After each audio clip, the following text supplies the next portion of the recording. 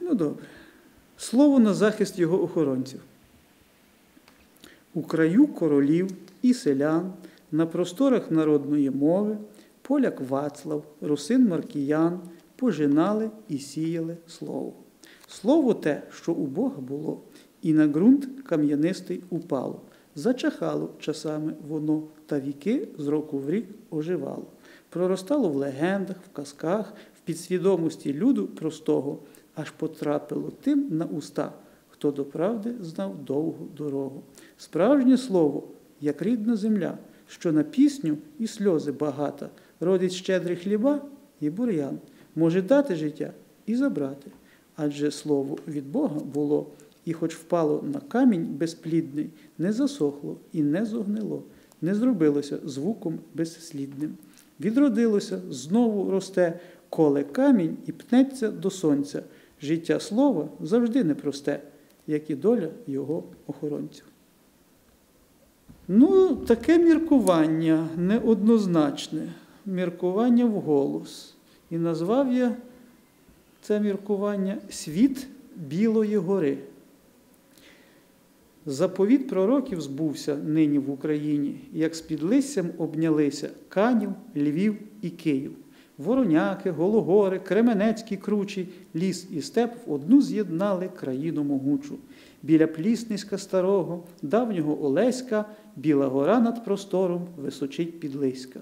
Під горою за селом є обійстя гарне, а на ньому джерело, де дуб воду тягне. Встань і гляньно, маркіяни, на гору високу, як твої парафіяни йдуть туди щороку, як з низин йдуть на вершину потоки народу. Добре це, та тільки гине місцева природа. На Івана, на Купала, на праздник Іллі, колись люди трави рвали на Білій горі, щоб зцілитися і бути здоровим, багатим, свого ближнього любити, Бога шанувати. Змінилися часи старі, забулися люди, як бачити із гори те, що колись буде. Добрі люди та в облуді шлях свій прокладають, свято вірять, що будують рай в своєму краї. Засадили круті схили соснами густими і сказали, що скрипили білу гору ними.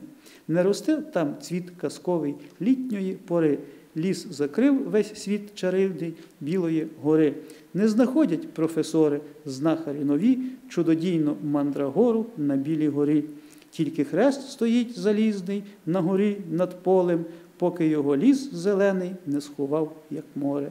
Забувають заповітне слово Маркіяна, безталанні п'яні діти. Жаль, що християни, підлисецька горобіла, як тебе не бачу, так ми тяжко, так ми сумно, що трохи не плачу.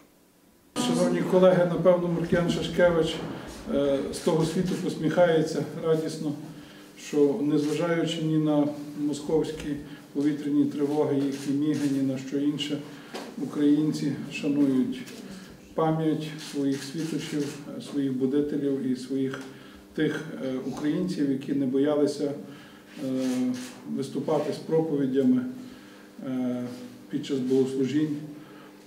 Перед тими українцями, які потребують не тільки шани і пам'яті, але й широкого наслідування. Сьогодні у співпраці багатьох наукових інституцій, різних кафедр, двох факультетів ми маємо дуже приємну нагоду побачити художні образи, які звучать, незважаючи на багато століть. Львівський національний університет імені Івана Франка упродовж останніх років традиційно вшановував пам'ять Маркіяна Шашкевича покладанням квітів. Сьогодні ми вшановуємо пам'ять Маркіяна Шашкевича покладанням поетичного вінка на його могилу, на його шану і на його славу. Ми сьогодні маємо нагоду оживити його художні образи, які промовлятимуть до наших сердець різними мовами. І я з великою приємністю запрошую до проведення цієї мистецької акції її натхненника, професора Єрему Івановича Кравця. Єрема Івановичу, будь ласка.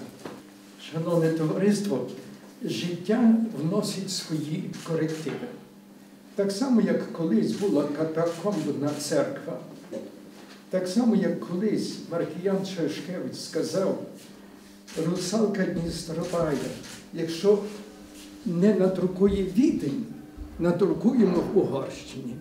І ми сьогодні, якщо не в музеї історії університету, то ми тут в укритті, але все одно будемо згадувати Маркіяна Шишкевича.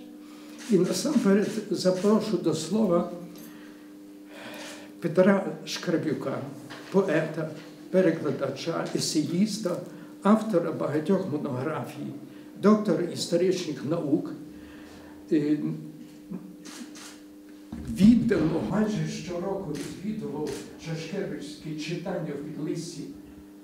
Був серед тих, хто сходив на Білу гору. Прошу. Василь Йович Дорогі шанувальники пам'яті Маркіяна Семеновича Шашкевича, видатного поета і, і священника. Я, я почну з його знаменитої е, вірша Веснівка, яка перекладена на багато мов.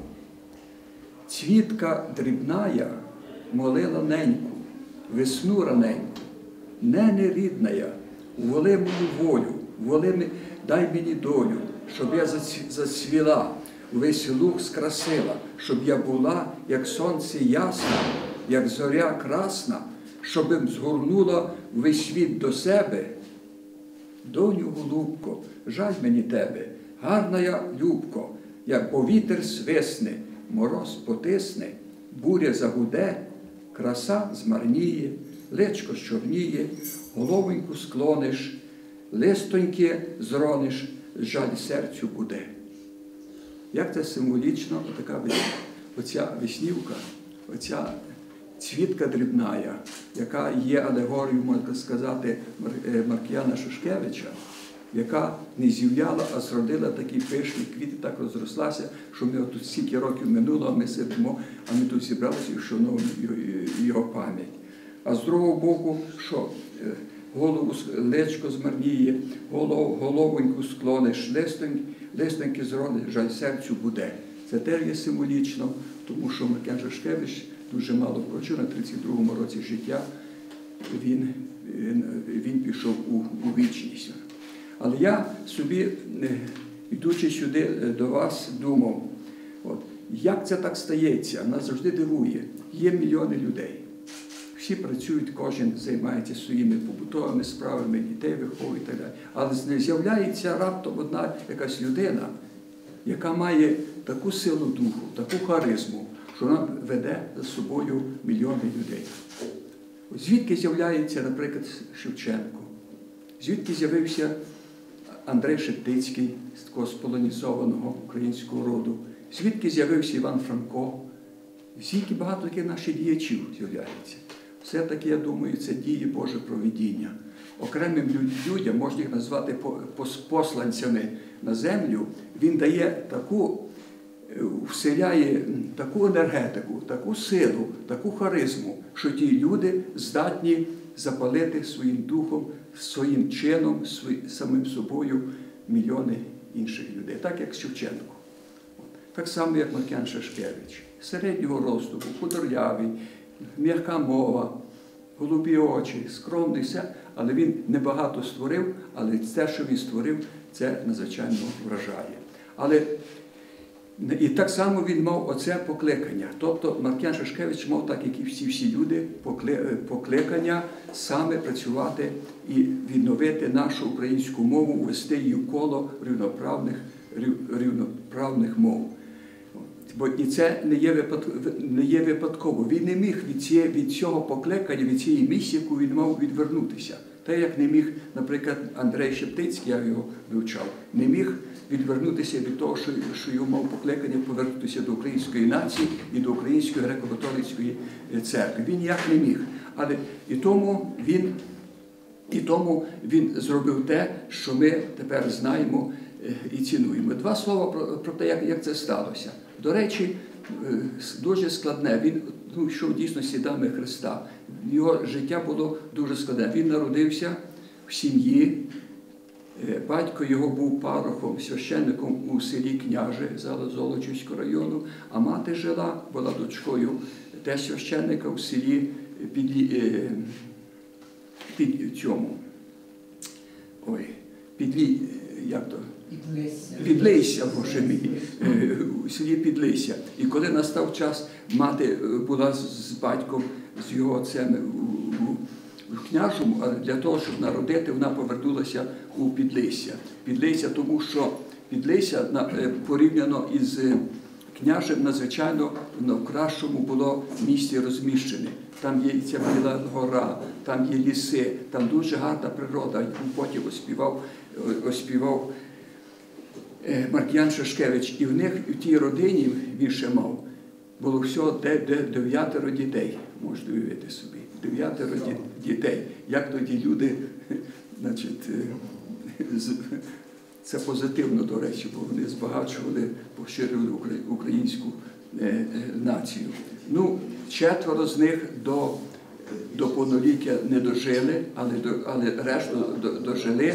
І коли, і він, коли Маркіян вступив до семінарії, він навіть не провчився рік, як його звідти відрахували.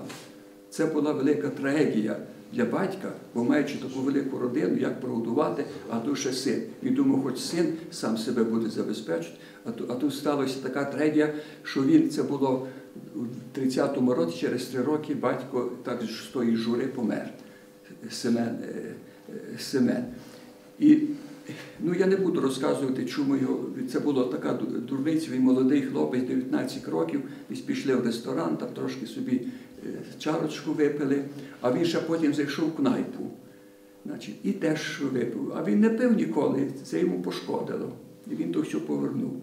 Ну, і це сталося, з чим сталося, там були жорсткі закони, правила, і його відрахували з семінарії. І майже три роки він перебувався, як міг. Він тут у маминого свого вуйка, у маминого брата, він був управителем тут госпіталі для убогих, е, і від шпиталю для убогих, і він в нього там працював, вчив дітей і так далі, і трохи заробляв. І аж майже через три роки його повернули в семінарію, і він почав навчатися з 32-го року.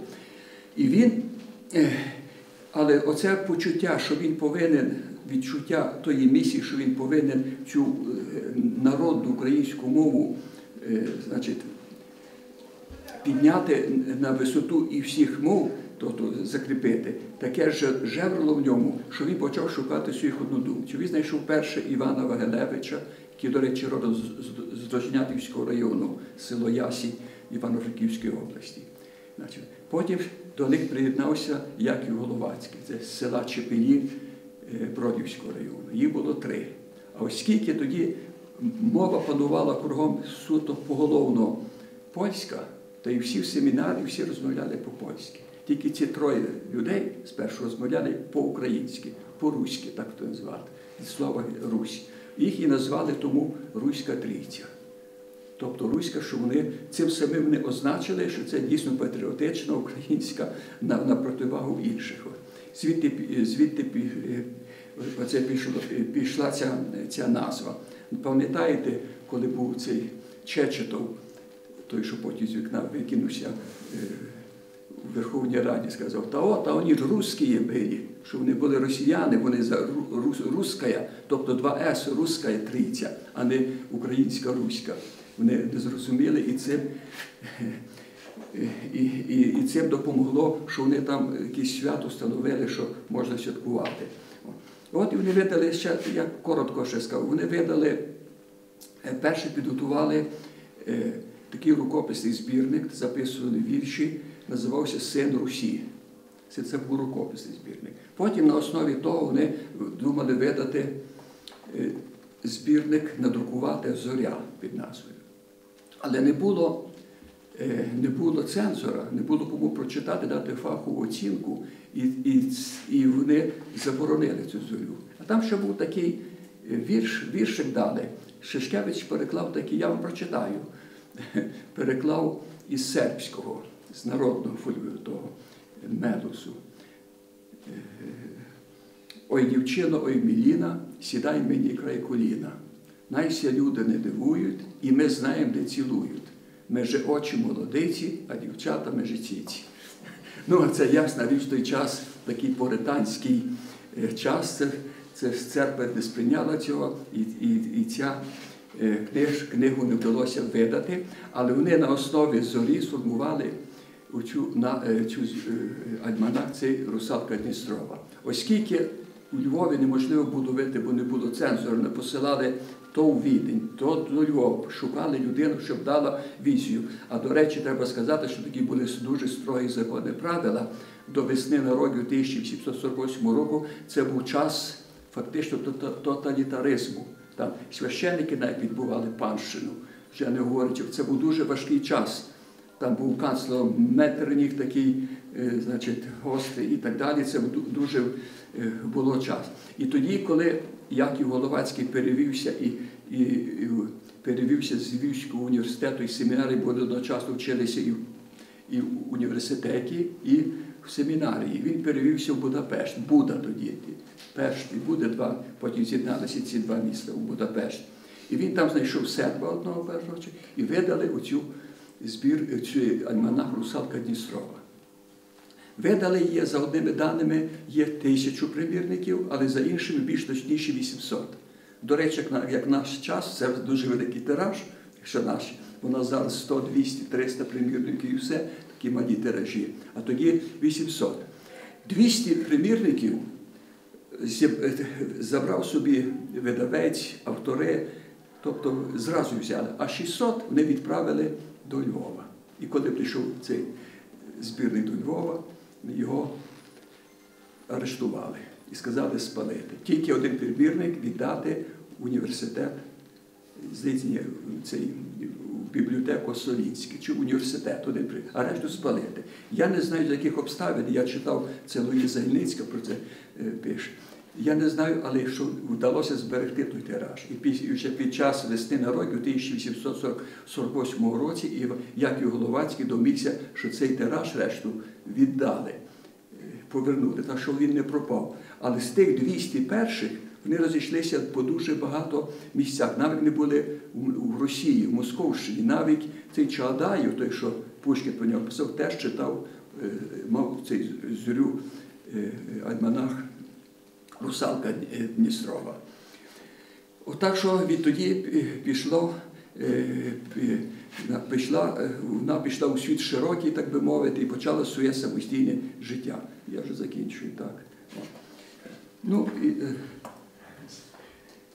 Маркіян, тут, тут, тут можна багато говорити, він був три парохи і так далі. і так далі. Буду, я не буду вас затримувати, але скажу, що його ім'я ніби було призабулося, але в 1840 році, коли створили головну руську раду, ту політичну інституцію України, українці Олечини, Микола Стоянович, який теж потім належить до цього гуртка Руської трійці, виголосив прекрасну промову на пам'ять, навіть видав такою окремою друкованою листівкою про Маркіяна Шушкевича. А потім вже в 1880 році поїхали студенти філо- філософського факультету Львівського університету, поїхали в Новосілки, де був похований, і знайшли його могилу. Значить, добре, що жила якась жінка, жила і показала їм де. Значить, він там був похований, ще було там п'ять домовин, а одну знайшли, що це була Маркіяна. І вже через, а вже в 1893 року, на 50-річчя дня смерті, його, його перепоховали. І ще його дружина була під час перепоховання, Юлія Крушинська була на цвинтарі. Наша е, е, пережила на е, три роки. Дуже гарна, до речі, була вродлива. Жінка є, збереглася її фотографія. От ще такі е, надзвичайно цікава, цікава постать, надзвичайно гарне ураження і Франко, і, і всі інші, які писали про е, Шишкевича, е, вони просто були уражені його такою дійсно харизмою, таким його виглядом, таким його і цією ніжною, ніжною поезією, яка глибока і ніжна, і така, і так зворушує просто як, як нічим. Бо, бо, бо це був виплив тої душі. І я, ну і ще на завершення скажу, що е, е, Русалка Дністрова я вийшла в 1837 року. Власне, вона вже була готова, вже була надрукована в 1800, рік раніше, в 1836. І от на свято Покрови, 14 жовтня, Маркян Шашкевич його друг Микола Стоянович і Юліан такий Величковський домовились в трьох, церквах виголосити проповіді українською мовою. Бо в основному в містах проповіді, тобто казання, буде по-польськи. Все по-польськи. Та й Маркіян Шашкевич після того із братом своїм листувався, писав по-польськи, і з тою Юнією говорив по-польськи. Ну, він шанував їхні. е, А Маркіян Шашкевич виголосив цю е, свою проповідь у, Соборі Святого Юра. І це була фактично сенсація. Уявіть собі, ніколи не чули української мови повне. І тут раптом виходить молодий хлопець і виголошує цю промову. Я написав такий вірш. Недільні дзвони, кличе всіх покрова, звільняє душі від гріховних пут, молінням повна церква світанкова, а рідна мова не слугує тут. Дяк не відводить погляду від книжки, шукає в ній старослов'янську в'язь. Парафіяни просять долі тишко, а перед ними маркіян, мов князь. Поет вступив до храму без гордині, у сутіні свічки, іконостас. Він проповідь довірених скаже нині по-українськи і звеличить нас. І вознеслась до неба мова гожа, аж посвітлів здивований собор, і на людей дивилась Мати Божа, здіймаючи над ними омофор. І Дух Святий ширяв над отчим краєм, над отчим Львовом та припадав до наддніпрянських нив. Поет сказав, і Бог почув це слово, і на усі віки благословив. Дякую за увагу.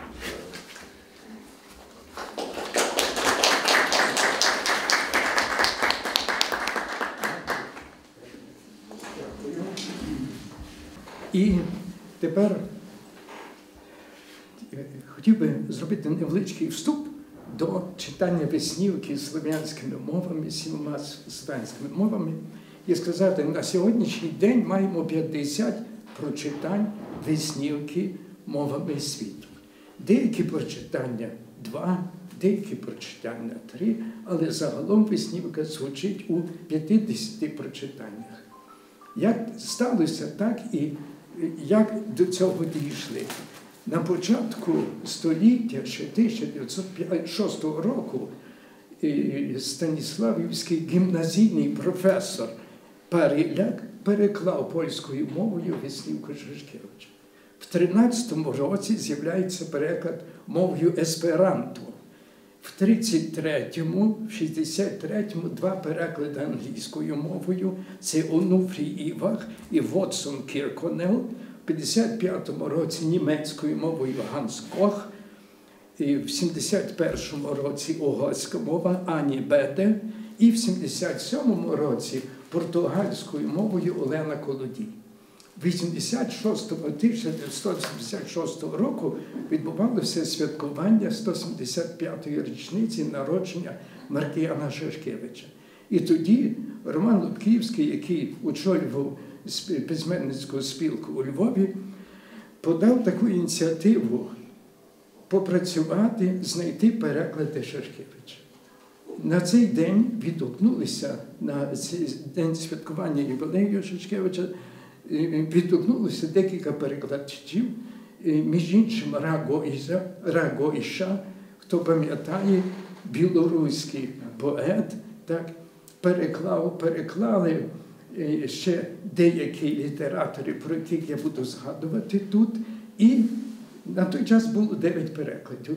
Далі Михайло Шалата, відомий дослідник творчості е, Маркіяна Шишкевича, якому належить це унікальне видання творів Шишкевича, е, такий солідний однотомник творів Шишкевича, мав інформацію про те, що існує 16 перекладів.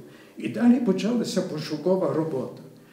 Цю пошукову роботу Роман Лубківський каже, Яремо, візьміть за цю роботу, переклади віснівку французькою мовою на святкування. Я переклав її на той день, коли святкували якраз 175 років, і взявся за пошуки. На жаль, до 91-го року ті пошуки були дуже ускладнені, але як тільки відкрилися кордони, можна було розпочати справжні пошуки. І почалося листування. І пошуки дали дуже цікаві результати. Я тільки зупинюся на кількох із них. Звернувся я, прочитавши в літературній газеті про те, що Мерідула Гош, бенгалка, поетеса, переклала е, е, поезії Лесі Українки, переклала Шевченка і декількох українських поетів. Звернувся через газету, е, через газету, розшукуючи Мерідулу Гош. Вона відповіла, каже, дивно, цікаво, але я маю готовий переклад Шашкевича. Далі розшукую Віра Коник, яка представляла Україну в Естонії і була е, кореспондентом. Звертаюся до неї, вона теж говорила про одну поетесу українку, яка, я перепрошую, Італійський фінал Ліги Чемпіонів тут до воротаря. І звертаюся до Вірі Коник, вона каже, так знаєте, ця українка старенька, вона вже вона української мови не пам'ятає, але я вам пораджу естонку, молода естонка, яка перекладає, вона теж українського походження, і вона, очевидно, вона перекладає. Їй 15 років. Це було 15 років тому, а їй вже тепер 30 років. Тій естонці, яка переклала тоді Весніку Шишкевича. І далі починали, почалися пошуки, пошуки. Пишу до Віри Вовк. Віра Вовк відповідає листом з Бразилії, каже, так є переклад, який зробила Олена Колодій в 77-му році. І далі було багато ентузіастів, ентузіастів, які відгукнулися дуже гарно. Наприклад, француз Малерб, який мав, який працював у Фінляндії, мав знайомого е, свого колегу, який, який читав слов'янськими мовами, переклав фінською мовою. Далі ціла, скажімо так, когорта людей, які відгукнулися з великим зацікавленням, і таким чином цю цифру е, довели до, до цифри 50. Останніми перекладами були переклад веснівки японською мовою, яку зробив викладач японської мови кафедри сходознавства нашого університету, і італійський переклад, який зробила Мар'яна Прокопович, це випускниця нашого факультету, і, Джованні Броджі, е, е, професорка Міланського університету. І тут така склалася цікава ситуація, що е, вважалося, що веснівку із італійською мовою переклав е, один із е, італійських професорів, який був лужичанином за походженням, і цей переклад часто згадували в літературі. Але такого перекладу не було, він не знав. Це була просто помилка. І ось останні, майже останні переклади, а ще найостан, найбільш найновіший переклад це вже підключився журнал Всесвіт, який допоміг і знайти, і залучити до цього перекладу і перекладача, як вони сказали, дуже сильною мовою іврит, і маємо таку, такий екзотичний переклад. Кого би зацікавилася історія пошуків, прошу в е, музеї історії університету є книжечка, в якій маємо розділ, який називається від 9 до 50 е, читань веснівки мовами світу. Можна це прочитати, щоб не забирати, не відбирати час на, на це повторення того, що знаємо.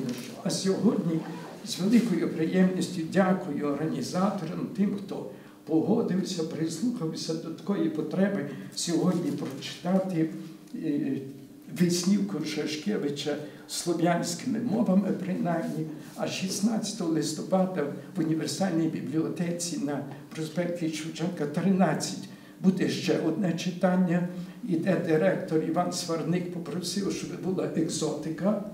Я кажу, добре, буде екзотика, буде читання арабською мовою, новогрецькою мовою, іспанською, італійською і іншими мовами. Так що хто забажає, прошу.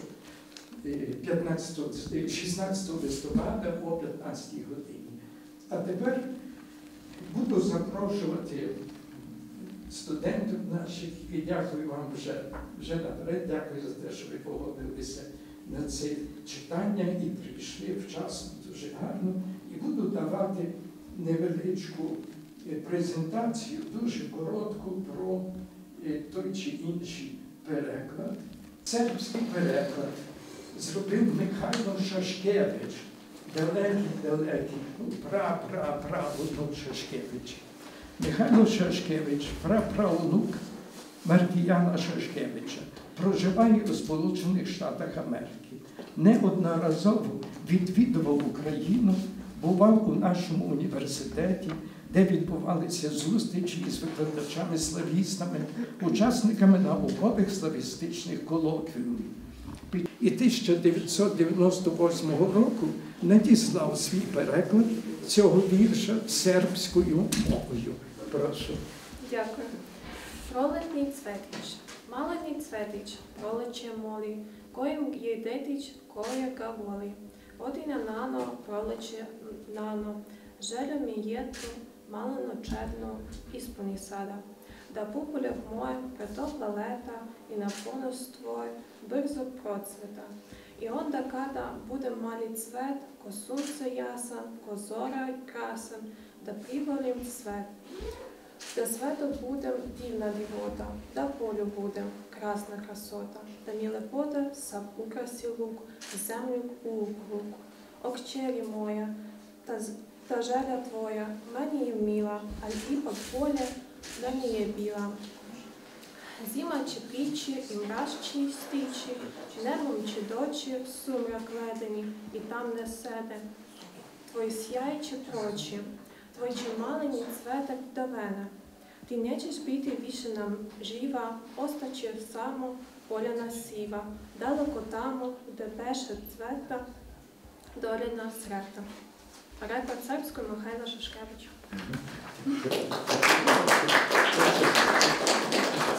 Мій переклад це хорватський. Його здійснив Дамір Пешорда, хорватський літератор. І- Як? Пешорда, так? Пешорда. Так. Який працював упродовж декількох років лектором хорватської мови на кафедрі слов'янської на кафедрі е, слов'янської філології імені професора Іларіона Свинціцького. В Україні захистив дисертацію на здобуття наукового ступеня кандидата філологічних наук. Відгукнувшись на пропозицію стати одним із перекладачів Шашкевичівської антології, 2001 року подав свій переклад вірша Веснівка хорватською мовою. Пролітниця. Любіца мала od vesne rane, majčice rođene, sudbu je iskala. Majko moja mila, volji mi udovolji, procvjetati mi daj, urestila bih gaj. Sva od svijeta, kao sunce jasna, kao zora na sebe. Kćerce, golubice, žao mi je tebe, Ljubka krasotjice, kad vihor strahuji, mraz stekne nemilice, tad će u oluji ljepote nestati. Lišća će pocrniti, lavica klonuti, opasti će latiti, srcu će žao biti. Preklad 2001 року. Дякую.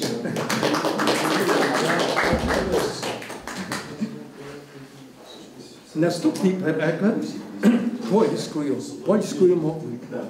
Польський переклад Віснівки знаного українського науковця, славіста, публіциста, професора Ягелонського е, університету, керівника кафедри українознавства Ягелонського університету Володимира Мокрого.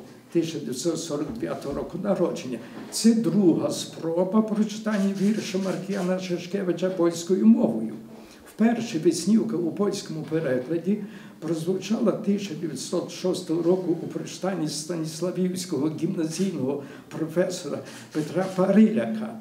У літературознавчій критиці цей переклад інколи оцінювався як не дуже вдалий щодо відтворення стильових особливостей вірша Маркіяна Шашкевича. Прошу. Квітечка мала, свої розонютки матки, ранютки вьосним благала. Дай мій воле і позволь мій доле, абим розквітала і в лонках буяла, Абим я била, як сонце ясна, як зожа красна, абим звабіла wszystkich до siebie.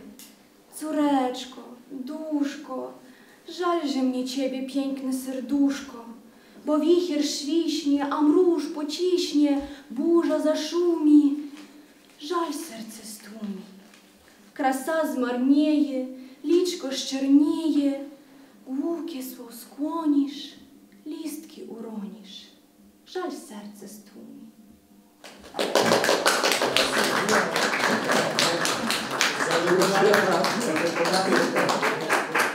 Ви, ви, напевно, театральній студії може берете участь. Так? О, бачите, відразу я вгадав. Так. так. Наступний переклад чеський. Чеський переклад вірша Маркіяна Шашкевича належить чеському поетові перекладачеві Ярославу Кабічику, 1931 рік народження, знаному статтями про Тараса Шевченка і низкою перекладів його віршів. Кобзареві вірші увійшли до його книги вибраних Шевченкових творів Білі хмари, чорні тучі 1977 року. Кабіджик був упорядником антології Форма вітру 10 сучасних українських поетів 1975 рік, в якій прозвучали, зокрема, твори Бажана, Павличка, Драча, Вінграновського. 1985 року став лауреатом премії імені Івана Франка, а 1986-го переклав чеською веснівку з нагоди 175-річчя 175-річчя будителя руського люду. Прошу. Jarnie. Drobny kwiat w sadku prosi swą matku, wesną mladiczką. Draga maticzko, przyjmij sladkie dni, osud radosny, abych mogła kwest podel ludzkich cest, abych zarziła jak słońce jasne, jak gwiazdy krasne, abych ukryła w sobie cały świat. Церко, дробічку, як тє не лед, красні квітечку, вітер тє сразі, przyszlapną мразі, бо вже гирч мне буде, краса подлебне, ті сещедне, главу сегнеш ніж, листки упустиш, серце жал збуде.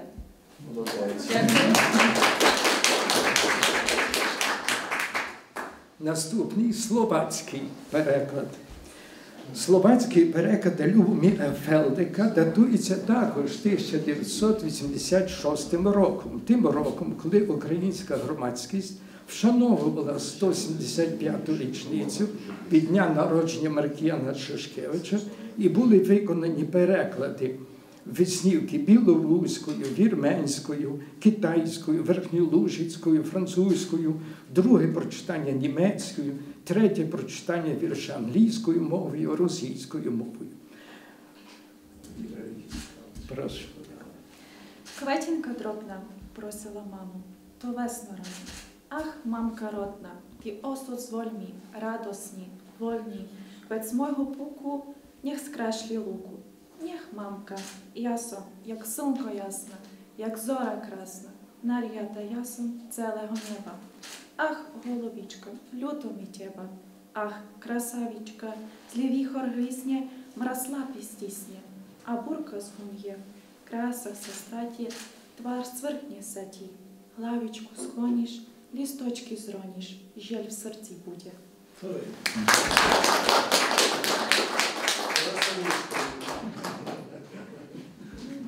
Болгарська мова. Переклад 1986 року веснівки болгарською мовою належить поетові і перекладачеві Іванові Давидкову, авторові Давидкову, так, авторові статей про українську поезію, передмов до трьох українських антологій, виданих у Болгарії у 60-80-ті роки минулого століття. Давидко перекладав поетичні твори Івана Франка, Лесі Українки, Тичини, Рильського, Бажана Павличка. Ознайомившись із перекладом Веснівки, надісланим із Софії, у прочитанні Івана Давидкова, Дмитро Павличко написав: Браво, дорогий Іване! переклад чудовий. Прошу. Цвят пипка дребна, майка сімолі, рання та пролет. Ті ненагледна, сволно здаріме, благословіме, да цифна млада, тучна левада, да се привирне. Вслинчицо ясно, звезда прекрасна, де і да, пригирна в обіч всеміра. Диште, душіце, в болка за міром, нежна іскрице. Віхер штевейна, сняг штесейна, пісик ште чувам. І, і далі неєш, ще почернеєш, глава склоніла, ще вехнеш міла, і ще те.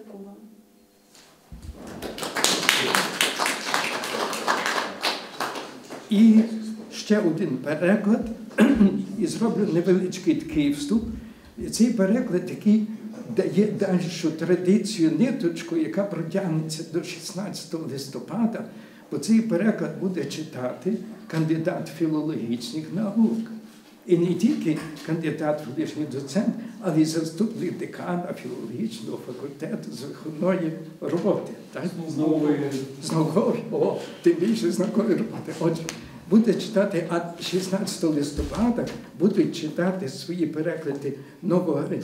читати переклади новогрецькою і арабською мовою дві кандидатки наук. Ну, двоє докторів, як тепер кажуть. Так, так. Ось, прошу, хвилиночку ще. Переклад веснівки верхньою лужицькою мовою у прочитанні поета і перекладача Бенедикта Дерліха також датований 1986 роком і зроблений на запрошення організаторів святкування ювілею Маркіяна Шашкевича. На той час контакти львівських науковців і літераторів із Лужицею були особливо тісними і дружніми. У Львівському університеті що два роки відбувалися наукові соробістичні семінари, читався курс лужицької мови. Львівські поети були частими гістьми Лужиці, як і лужицькі літератори та науковці, які брали участь у соробістичних семінарах. Бенедикт Дирліх, поет, письменник, перекладач, журналіст, політик і громадський діяч. Упродовж декількох років був головним редактором газети Сербські новини. Прошу, і Олександр Моторник читає цей переклад. Снігowka, квітка дробнушка, просила бабку на літню землю, родна мачерка, не пшею. Z wótrobu przeju, zobych zakcięła, łuku skrasniła, zobych ja było. Każ słońce jasne, każ gwiazda krasna, rady by chciała świat mieć w sobie. Dziołka gołbiko, mi żelcini, ty mój luboszko, wiecik za gwizda, mrozpak zapiska, wichor za wogry, krasu powali, liczku za czorni, wojczku ty skłonisz, lopieżka zronisz, budzie żelcie mi.